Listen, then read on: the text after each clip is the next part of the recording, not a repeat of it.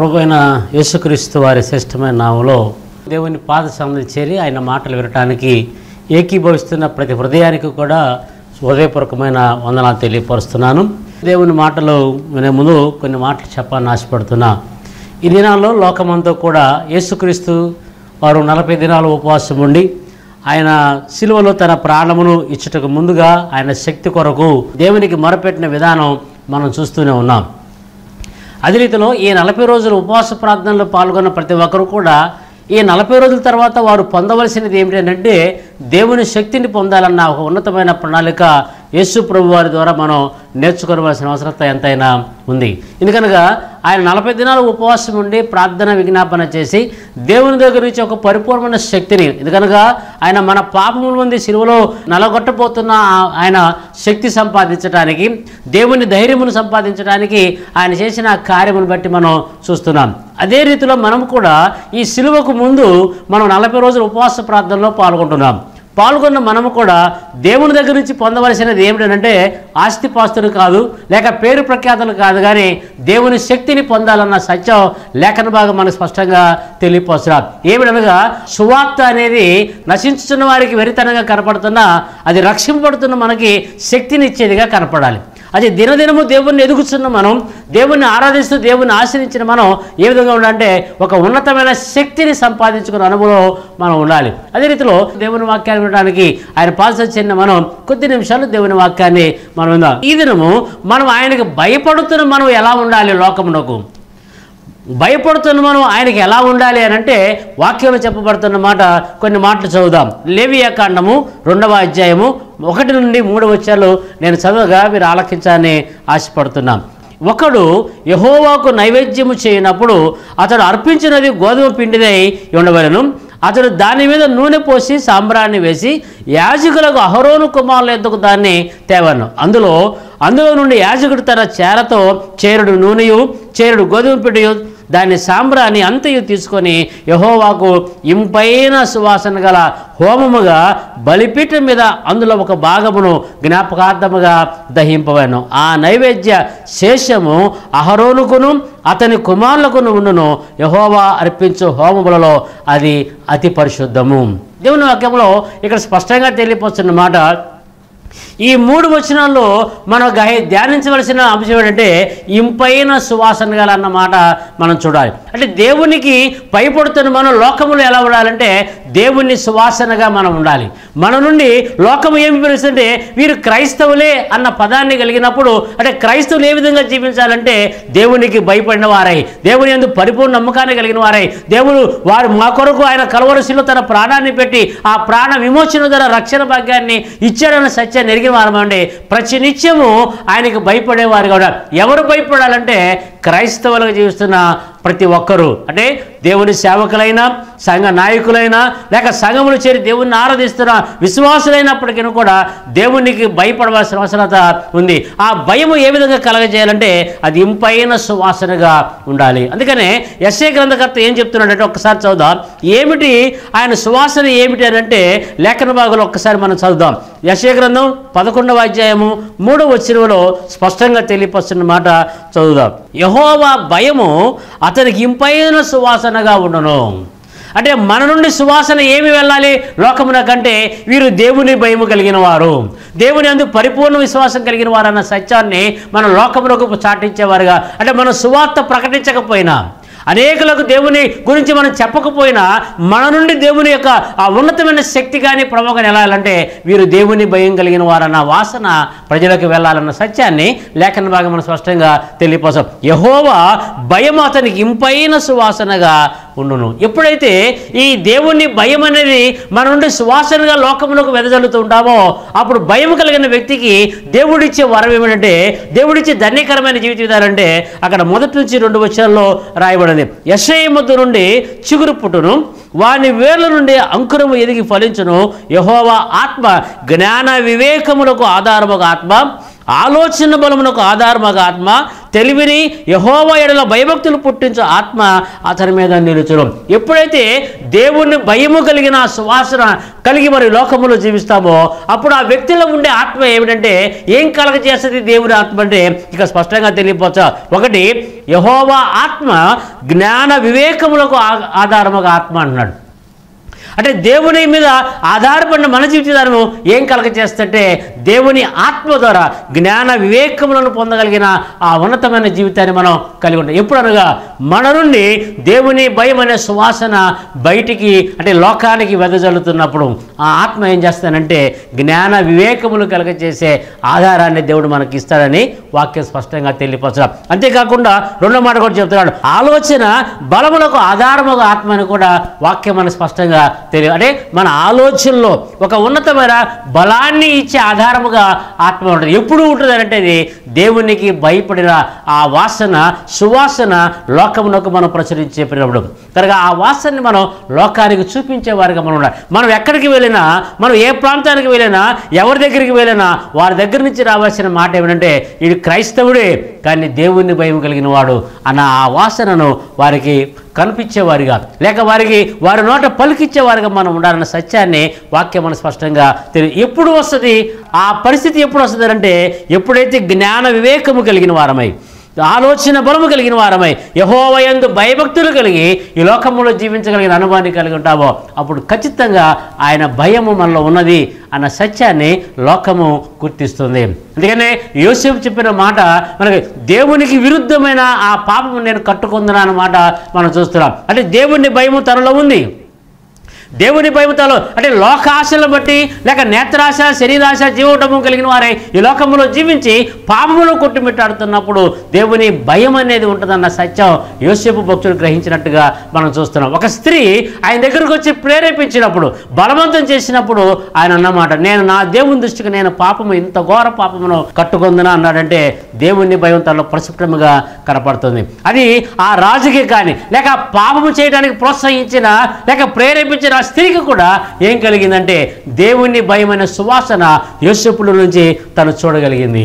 చూడగలిగింది కనుకనే మళ్ళా తన జోలికి వెళ్ళకుండా ఆమె తనకు దూరముగా పారిపోయినట్టుగా లెక్కన భాగం మనం స్పష్టంగా తెలియపోసారు. కనుక మన లోకంలో క్రైస్తవ జీవితాన్ని జీవిస్తున్న మనము కూడా పాపము మనకు దూరముగా వెళ్ళగలిగినట్టుగా దేవుని భయం మనలో ఉండాలి అన్న సత్యాన్ని వాక్యం మనం స్పష్టంగా తెలియపరుస్తారు. ఆ భయం ఎలా కనపడాలంటే ఇంపైన సువాసనగా కనపడాలి. ఇంపైన సువాసనగా ఎప్పుడైతే మనం కనపచ్చే రీతిలో మన జీవితాన్ని విశ్వాస జీవితాన్ని కొనసాగిస్తామో ఆయన చెప్తున్నమాట ఆత్మ యహోవ ఆత్మ జ్ఞాన వివేకములకు ఆధారముగా ఆత్మగాను ఆలోచన బలములకు ఆధారముగా ఆత్మగాను తెలివిని యహోవ ఎడల భయభక్తులు పుట్టించే ఆత్మ అతని మీద నిరుచునని సత్యాన్ని వాక్యం మనకు స్పష్టంగా తెలియపోసారు కానీ ఈ కడవరి దినాల్లో జీవిస్తున్న మనకి మరి ఒక తరుణాన్ని ఇచ్చాడు. ఈ నలభై రోజులు కూడా దేవుని పాలసీలో చేరి ఉపవాస ప్రార్థన చేస్తున్న మనకి దేవుడిచ్చిన ధన్యత ఏంటంటే ఇది బైబిల్ క్లాసెస్.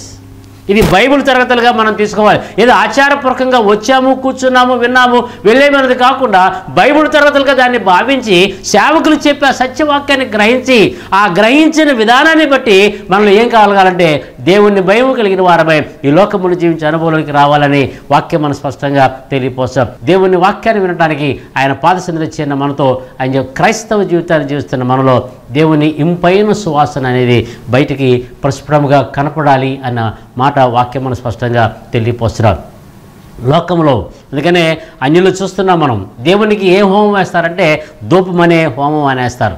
ఆ దూపం అనే ఆ పొగను దేని కొరకు వేస్తారంటే అది ఆయనకి ఇంపైనదిగా ఆయన స్వీకరిస్తారన్న సత్యాన్ని వారు ఎరిగిన వారే ఆ విధంగా చేస్తారు. క్రై క్రైస్తవులకు చూస్తున్న మనం ఏ ధూపం వేయాలంటే ప్రార్థన ధూపం అనేది దేవునికి వేయాలి. అది విరిగి నలిగిన మనసుతో ప్రార్థనాపూర్వకమైన ఆ ధూపాన్ని దేవునికి వేస్తూ ఉంటే అప్పుడు ఆయన పరవశుడై ఉండి మన ప్రార్థన అంగీకరించడానికి ఆయన సమీపస్తుడిగా ఉంటారన్న సత్యాన్ని కూడా వాక్యంలో మనం జ్ఞాపకం చేసుకుంటున్నాం. కనుక మనం ప్రార్థించేవారిగా ఉండాలి.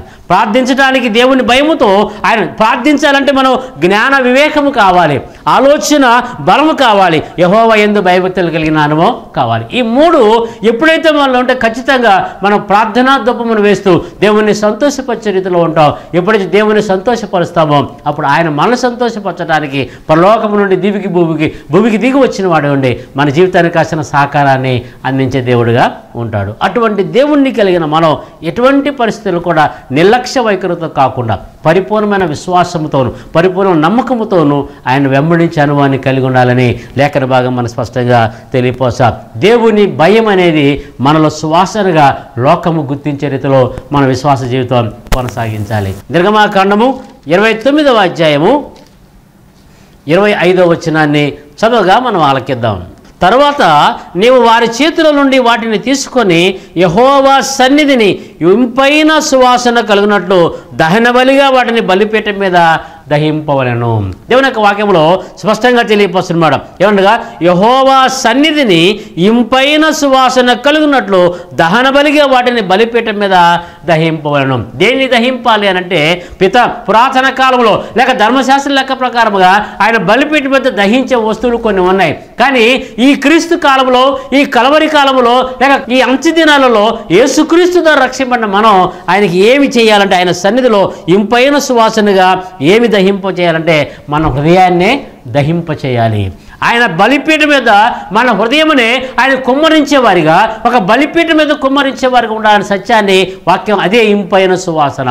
బలిపీఠం మీద చేరుతున్న మనం దేవునికి ఇంపైన సువాసన కన్నట్టుగా మనం ధూపము వేసేవారిగా లేక ఆయనకి విజ్ఞాపన చేసే అనుభవాన్ని కలిగిన ఆ హోమం వేసేవారిగా మనం ఉండాలని లేఖన భాగం మన అంటే హృదయాన్ని దహింప చేయాలి మన హృదయాన్ని దహింప చేస్తూ దేవునికి మొరపెట్టగలిగితే అందుకని యేసుక్రీస్తు ప్రభు వారు కూడా నలభై దినాలు చేసిన ప్రార్థన ఎలా ఉందనంటే ఆయన చెమట బిందువులు రక్త బిందువులుగా మారినట్టుగా ఆయన హృదయాన్ని దహింప చేసి ఉన్నాడు.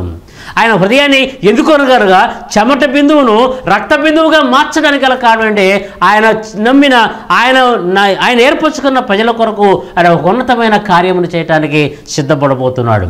ఆ సిద్ధపడుతుపడుతున్న ఆ కార్యం నెరవేర్చబడాలి అని అంటే ఆయన ఖచ్చితంగా శక్తి సంపాదించుకోవాలి. ఆ శక్తి కొరకు ఆయన ఏం చేస్తాడంటే దేవుని బలిపేట మీద చేరిన ఆయన తన హృదయాన్ని దహింప చేస్తున్నాడు.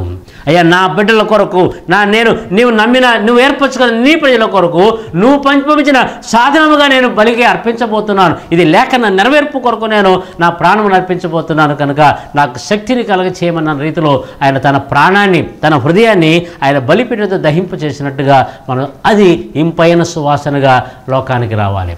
మనం బలిపీఠ మీద చేరి మోకరించి దేవుని వైపు చూస్తూ ప్రార్థన చేస్తున్నప్పుడు ఆ ప్రార్థనే మనకు ఒక ఉన్నతమైన సువాసన కలగజేసేది ఉంటుందన్న సత్యాన్ని కూడా లేఖన భాగంలో మనం గమనిస్తున్నాం. మొదటిది దేవుని భయం అనేది సువాసనగా లోకమునకు మనం ప్రచురించేసేవారుగా ఉండాలి. రెండవది ఆయన సన్నిధిలో మన హృదయాన్ని దహింపచేసే రీతిలో అంటే హృదయాన్ని కుమ్మరించే రీతిలో ఆయనకు మొరపెట్టగలిగితే అది హోవాకు ఇంపైన సువాసనగా ఆయన స్వీకరిస్తాన సత్యాన్ని వాక్యం మనం స్పష్టంగా తెలియపోసాం.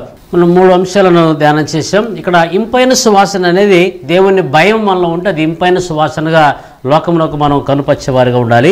రెండవది ఆయన ఒక ఉన్నతమైన రీతిలో ఆయన సన్నిధిలో మనం దహించ మన హృదయాన్ని దహింప చేస్తూ ఆయనకు మొరపెడుతున్న విధానం కూడా యహో ఒక ఇంపైన సువాసనగా ఆయన స్వీకరిస్తారని వాక్యం మనం స్పష్టంగా తెలియపరచడం మూడవదిగా ఇక్కడ చెప్తున్న మాట పౌల్ గారు రెండో కొరింతీనికి రాసిన ఆ పత్రికలో చెప్తున్న మాట ఏమిటంటే మా ద్వారా ప్రతి స్థలమందును క్రీస్తును గుచ్చిన జ్ఞానం యొక్క సువాసనను కనుపరచుచు ఆయన ఎందు మమ్మను ఎల్లప్పుడూ విజయోత్సాహంతో ఊరేగించుచున్న దేవునికి స్తోత్రమని చెప్పిన మాట ఇక్కడ చూస్తున్నాం అంటే జ్ఞానము యేసుక్రీస్తునికి వచ్చిన జ్ఞానం అనే ఆ సువాసన ఏమిటి అనంటే మనం విశ్వాసము దేవుణ్ణి వెంబడిస్తున్నప్పుడు ఎటువంటి పరిస్థితులు కూడా అధైర్యపడవలసిన అవసరత లేదు. ఎప్పుడైతే మనం అధైర్యపడుతుంటామో ఆ దేవుని యొక్క వాసన మనలో నుంచి బయలు వెళ్ళేదిగా కనపడుతుంది. అందుకని పౌలు గారు చెప్తున్న మాట ఏంటంటే క్రీస్తుని కూర్చిన ఎక్కడది?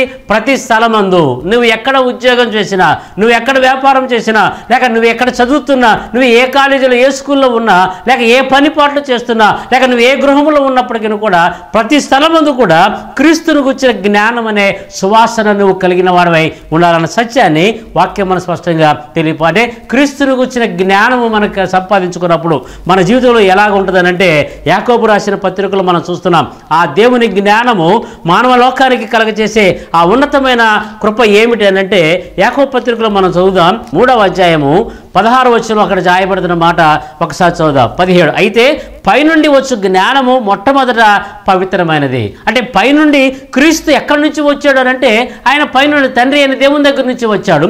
అదే రీతిలో పైనుండి అనగా ఈ దేవుని దగ్గర నుంచి వచ్చే జ్ఞానం ఏం కలగ చేస్తుంటే మొట్టమొదటిగా పవిత్రమైనదిగా కనపడుతుంది. రెండవదిగా అక్కడ చెబుతా సమాధానకరమైనదిగా మూడు మృదువైనదిగా సులభముగా లోబడినదిగా కనికరముతోనూ మంచి ఫలములతో నిండుకున్నది పక్షపాతమైనను వేసిదానైన ఇది. ఉండునన్నమాట వాక్యంలో స్పష్టంగా మనకు తెలియబాటే దేవుని జ్ఞానము దేవుని గురించిన పరిపూర్ణమైన పరిపక్వత చెందిన ఆ హృదయంలో దేవుని జ్ఞానం ఏ విధంగా కలగచేస్తానంటే అక్కడ పవిత్రమైనది గాను సమాధానకరమైనది గాను మృదువైనది గాను సులభముగా లోబడినది గాను కనికరముతోనూ మంచి ఫలములతో నిన్నుకున్నది గాను పక్షపాతమైనను వేసిదారిన లేనిదినై ఉన్నది అన్నమాట వాక్యం వాక్యంలో స్పష్టంగా తెలియపరచా అంటే ఇటువంటి గుణలక్షణాలు కలిగిన వారమై ఈ లోకంలో జీవిస్తూ క్రీస్తు యొక్క సువాసన మనం వెదజల్లేవారుగా ఉండాలన్న సత్యాన్ని వాక్యం మనం స్పష్టంగా తెలియపోసాం. అయితే పైనుండి జ్ఞానం అలా కలగజేస్తే లోకములో విద్యను అభ్యసిస్తూ జ్ఞానాన్ని సంపాదిస్తున్న వారి యొక్క జ్ఞానము ఎలా ఉందనంటే అదే అధ్యాయంలో మనకు చెప్తున్న మాట పదిహేను వచనంలో.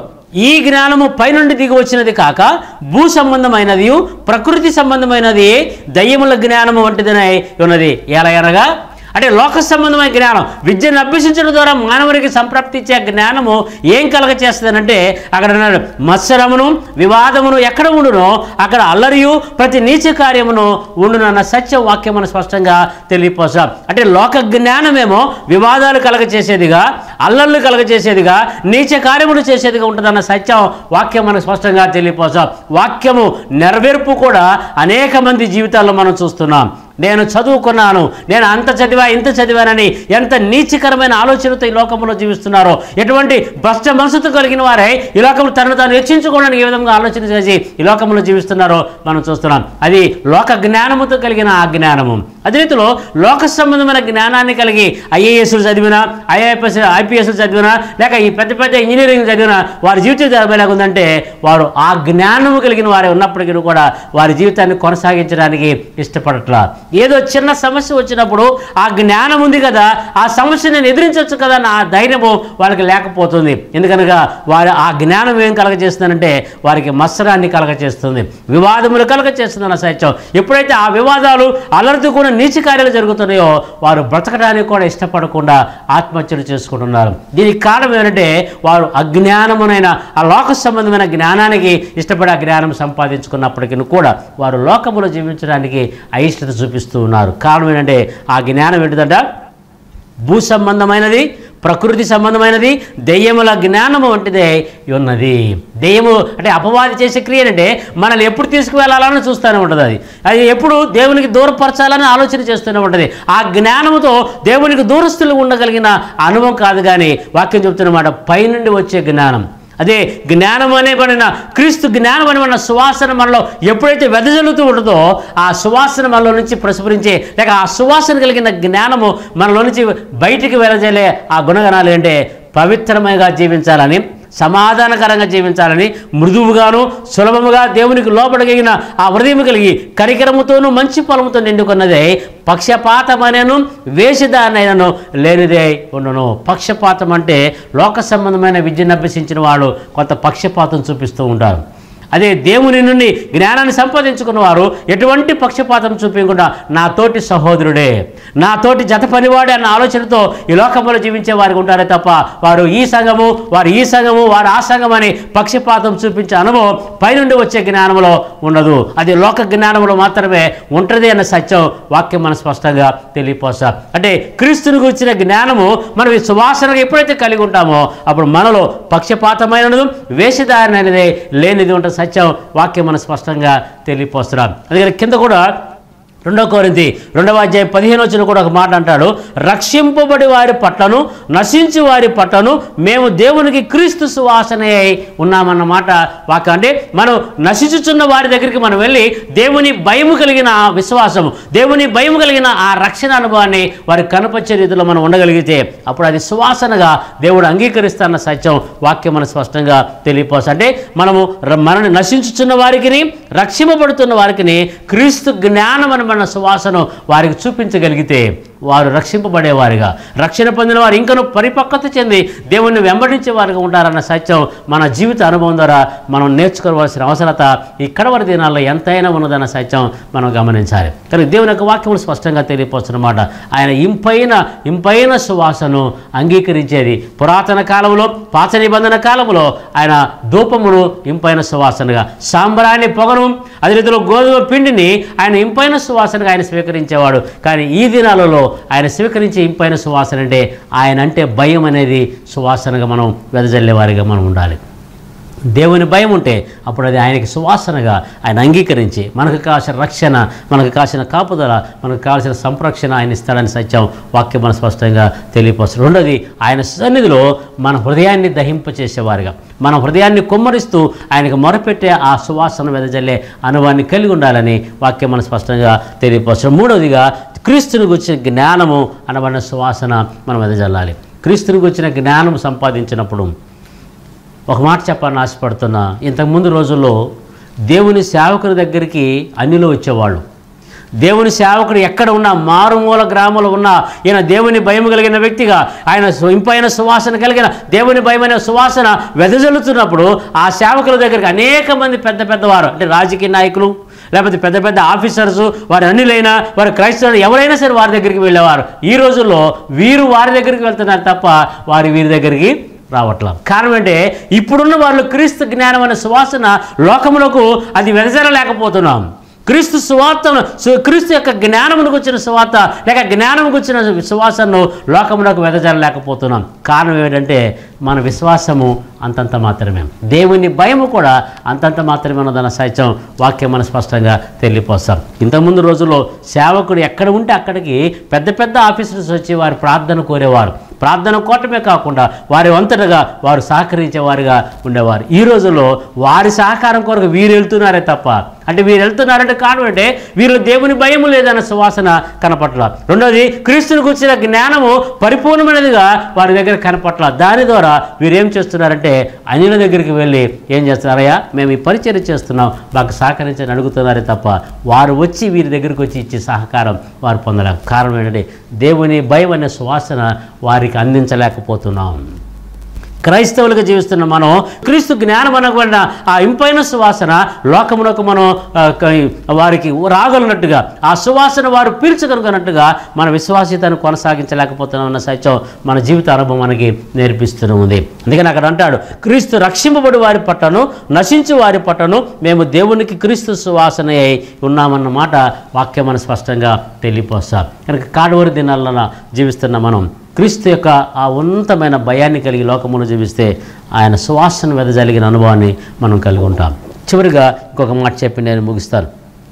దేవుని యొక్క వాక్యంలోనే చెప్పబడిన మాట క్రీస్తు యొక్క ఆ ఉన్నతమైన అనుభవ జ్ఞానాన్ని క్రీస్తుని గురించిన పరి పరిపక్వత చెందిన హృదయాన్ని కలిగి ఆయన వెంబడించగలిగిన అనుభవాన్ని మనం ఎప్పుడైతే కలిగి ఉంటామో ఖచ్చితంగా అనేకులు మన దగ్గరకు వచ్చి మనకు సహకరించే వారు ఉంటారు తప్ప మనం వారి దగ్గరికి వెళ్ళి సహకారాన్ని కోరవలసిన అవసరత లేదు అన్న సత్యం మన మిషనరీస్ చేసిన పరిచయం బట్టి మన పిత్తలు చేసిన పరిచయం బట్టి మనం జ్ఞాపకం చేసుకోవాలి. ఈ రోజుల్లో సంఘాలు విస్తరిస్తున్నాయి.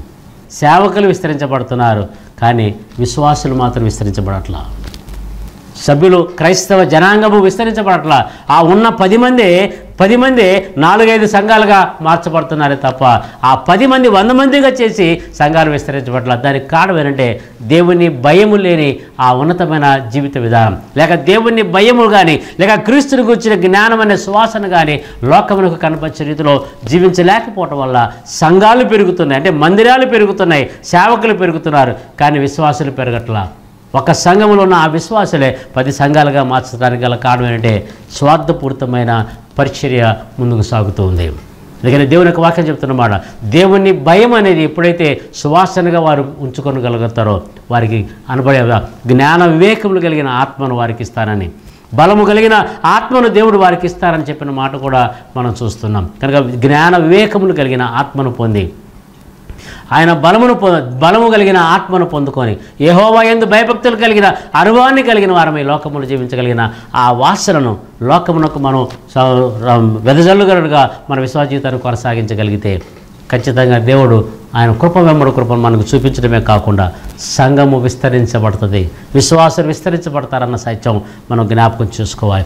కడవరి దినాల్లో జీవిస్తున్న మన జీవితంలో యేసుక్రీస్తు మన కొరకు కలవరి చెరువులు తన ప్రాణాన్ని పెట్టిన దాన్ని మనం జ్ఞాపకం చేస్తున్నాం ధ్యానిస్తున్నాం. ధ్యానిస్తున్న మన పట్ల ఆయన కృపను ఏ విధంగా చూపిస్తున్నాడో ఏ విధంగా చూపించగలడో మనం జ్ఞాపకం చేసుకొని సువాసనను వెద దేవుని భయమైన సువాసన వెదజల్లేవారిగా క్రీస్తుని వచ్చిన జ్ఞానమైన సువాసనను లోకమునకు వెదజల్లేవారిగా మనం ఉన్నట్టుగా విశ్వాసి జీవితాన్ని కొనసాగించే దేవుడి ఈ మాటలు మన హృదయంలో నీరు కట్టి ఫలింప చేయనుగాక ఆమెన్. నేను యేసుక్రీస్తు నామములో మీ అందరికీ వందనములు. దేవుని యొక్క పిలుపును బట్టి తెలుగేతర రాష్ట్రమైన కర్ణాటకలో గడిచిన అనేక సంవత్సరం నుంచి సేవ చేయుటకు ప్రభు నడిపించిన విధానం బట్టి ప్రభును స్థుతిస్తూ ఉన్నాను. రెండు వేల పదిహేడు వరకు అనేక సంస్థలలో అనేక విధమైన పరిచయలు చేసి ఎన్నో ప్రార్థనల తర్వాత ప్రభు తెరిచిన ఒక ద్వారమును బట్టి హెబ్బగుడి అనే ప్రాంతంలో సౌత్ బెంగళూరులో మందిర పరిచయ కొరకు దేవుడు ఒక చక్కటి ద్వారాను తెరిచాడు. ఒక రెండు కుటుంబాలతోటి ఆ యొక్క మందిర పరిచయను ప్రారంభించి రెండు వేల పదిహేడులో తొలి దినాలలో ఈ సిటీ తెలుగు చర్చ్ అనే పేరుతో పరిచయను జరిగిస్తూ వచ్చాం. దేవుడు ఎంతో ఆశ్చర్యకరముగా అనేక కుటుంబాలని మందిరములో చేర్చి వచ్చాడు. తర్వాత దినాలలో పరిచయకు హోసేను మినిస్ట్రీస్ హోసేను తెలుగు చర్చ్ అనే పేరుతో ఈ యొక్క పరిచయను కొనసాగిస్తూ ఉన్నాం. హోసేను అనగా దేవుని నామములో ఒక నామము రూపించు దేవుడు. అనగా ఈనాడు మనం ఉన్నటువంటి జీవితాలు ఇలాగే ఉంటాయని కాదు. మన జీవితాలు నిత్యము దేవుని హస్తముల ద్వారా నూతనముగా రూపించబడాలి అనే ఉద్దేశముతో ఈ నామము నుంచి పరిచయం కొనసాగిస్తూ ఉన్నాం. అనేక కుటుంబాలు చర్చ్ బట్టు ద్వారా ప్రస్తుతము అద్దెకు హాల్ తీసుకొని నడిపించబడుతున్న స్థలము చాలకపోవటం ద్వారా మందిరం యొక్క అవసరతను బట్టి గడిచిన సంవత్సరాలలో చేసినటువంటి అనేక ప్రార్థనలు వాటికి ప్రతిగా ప్రభు ఒక స్థలమును మాకు చూపించి ఉన్నాడు. దేవుని యొక్క కృపను బట్టి భారమును బట్టి ఇక హెబ్బగుడి ప్రాంతంలో తెలుగు మరియు కన్నడ ప్రజల మధ్య మందిర స్థల సేకరణ మరియు నిర్మాణము చేయుట కొరకు ఈ గొప్ప పనిని చేయుటకు పూనుకొని ఉన్నాము. అయితే దేవుడు చూపించినటువంటి ఈ మూడు వేల చదరపు అడుగుల స్థలమును మరి కొనుగోలు చేయుటకు అదే రీతిగా అక్కడ మందిర నిర్మాణం చేయుటకు మీ అందరి సహకారములో విరాళములో నాకు ఎంతగానో అవసరమై ఉన్నవి. ప్రార్థనలతో దేవుని ప్రేరేపణతో ఈ యొక్క పరిచయలో పాలిభాగస్తులు కావాలని ప్రేమపూర్వకంగా కోరుకొనిచున్నాను. ఒకవేళ మీరు ప్రేరేపించబడిన వారు ఒకవేళ ఎవరైనా ఉంటున్నట్లయితే అందించబడినటువంటి వివరములు సంప్రదించండి. కనీసము ఒక అడుగుకైనా మీ వంతు వరకు సహకారం అందించి లేక దేవుడు ప్రేరేపించినటువంటి కొలది ఈ పరిచర్యలో మీరు పాలుభాగస్తులై అనేక తరములకు సంవత్సరాలకి సుస్థిరంగా ఉం- ఉండిపోయే ఈ దేవుని మందిర నిర్మాణ విషయంలో పాలిభాగస్తులు కావాలని కోరుకొనిచ్చి ఉన్నాం. ఇక్కడ ప్రతి ఒక్కరు పాలిభాగస్తులై ఇక్కడ మీకు ఇవ్వబడుతున్న వివరంలో మీరు సంప్రదిస్తూ మీ యొక్క ప్రేమపూర్వకమైనటువంటి కానుకలను విరాళములను అందించవలసిందిగా కోరుకొనిచున్నాం ప్రార్థనలు చేయండి. అనేకులు తెలియచేయండి.